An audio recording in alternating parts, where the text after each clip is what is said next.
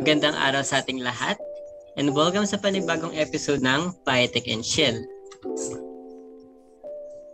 Ako pa rin ito ang inyong resident intern Joshua. Now, in this episode, pag-uusapan natin kung ano nga ba ang genes and genome. At sa episode na to, tatalakayin natin kung ano nga ba ang DNA, chromosomes, genes, and genomes, kung paano ba sila nagkakaiba at nagkakatulad.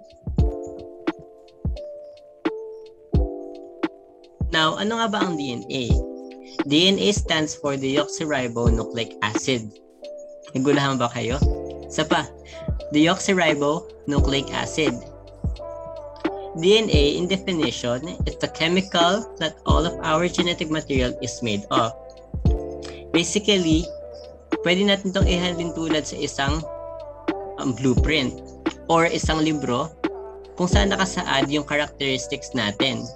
For example, yung colors ng mata natin, yung colors ng buhok natin, yung color ng balat natin, parang mga ganon. Ngayon, ang DNA, tinatawag din natin siyang isang polymer. As you can see here, yung DNA natin sa screen na umiikot, isa siyang mahabang molecule na binubuo pa ng maliliit na molecules. Kinatawag din natin siyang double helix or double-stranded spiral dahil sa shape niya. Ngayon makikita naman natin kung ano nga ba yung parts ng isang DNA or nucleic acid. Yung DNA natin binubuo siya ng phosphate deoxyribose backbone na may parts na phosphate group, ito yung phosphate group, and sugar or deoxyribose. Ngayon, binubuo rin yung DNA natin na tinatawag nating base pairs. Yung mga base pairs na to, namely adenine, thymine, guanine, and cytosine, is nagmamatch sila sa isa't isa. In here, ito pa yung isa pang illustration kung ano nga ba yung itsura ng DNA natin. Here makikita natin yung helix shape or double-stranded shape spiral and yung base pairs natin tinatawag which is here and yung nucleotide which is binubuo siya ng base pair, sugar, and phosphate groups. Ngayon, ano naman yung chromosomes? Pag inentangle natin yung DNA natin, pag sinukat natin siya, umaabot siya ng halos 2 meters long or more. Ngayon, paano nagkakasya yung 2 meters na yon in such a small space sa ating cell? Well, our DNA or chromosomes has a different 46 different sections that each of these section is actually a really tight coil which forms a something we call a chromosome. Yung chromosome natin, makikita natin dito sa screen, yung X-like shape. And yung bawat cell sa katawan natin ay binubuo siya ng 23 paired chromosomes. Yung half nito is nagagaling sa nanay natin and yung half niyan is nagagaling sa tatay natin. In here sa screen, makikita natin ng isang tinatawag nating karyotype. Ito ay image kung saan pinapakita yung chromosomes natin. Makikita natin dito yung 23 paired chromosomes na tinatawag natin. And each binubuo siya ng dalawang line of chromosomes chromosome na, yung isa nagagaling sa nanay natin, yung isa sa tatay natin. And tingnan natin dito sa pang 23rd chromosome, makikita natin yung XX or XY. Ito yung tinatawag nating sex chromosomes. Siya kasi nag indicate kung ano ba yung magiging sexuality natin. Kung magiging lalaki ba tayo or babae. Ngayon, ano naman yung genes? Genes are a small section of DNA that codes for a particular type of protein. Di ba sabi ko kanina yung genes natin is para siyang blueprint or template para makagawa ng protein. Yung DNA din natin determines which proteins the cell produces. In here, makikita natin kung paano nga ba nag tatransform yung DNA natin into a protein. Kung mapapansin natin dito, in the nucleus, we have our DNA. Mag-undergo siya ng process na tinatawag natin transcription, which is basically kinakopy niya yung information sa DNA natin into an RNA.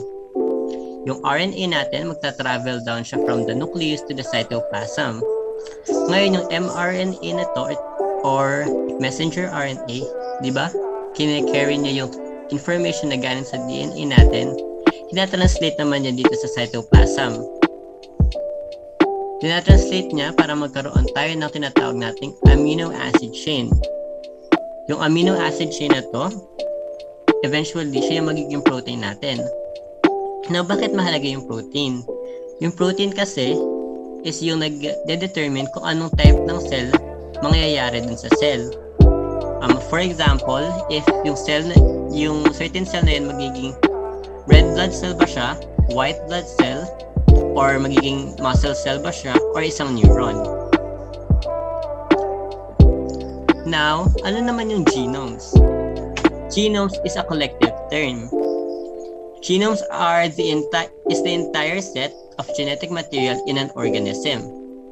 For example, makikita natin dito sa screen, ito ay tinatawag nating isang map of the genetic material ng isang bio ng isang microbiological organism or microorganism na tinatawag nating E. coli.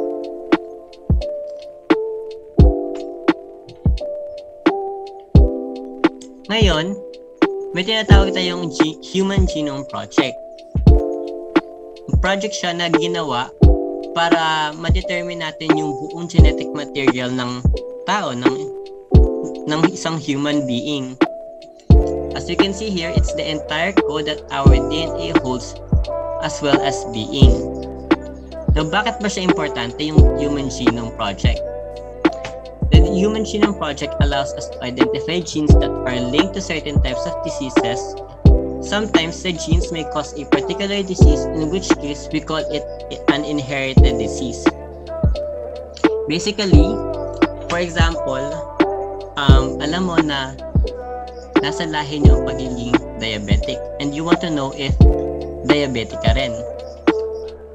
Magpapakuha ka ng human genome test para i-identify nila kung meron kung na-inherit mo ba yung gene for um, for yung certain type of disease na yon.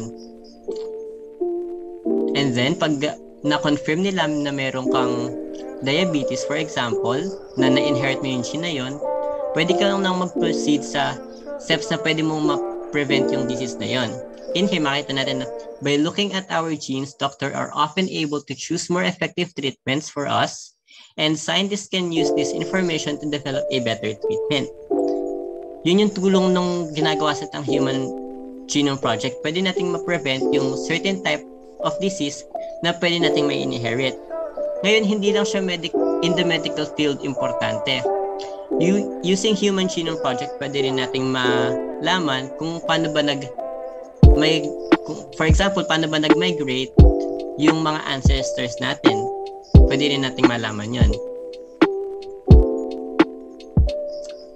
Now, sana marami kayong natutunan sa episode na to.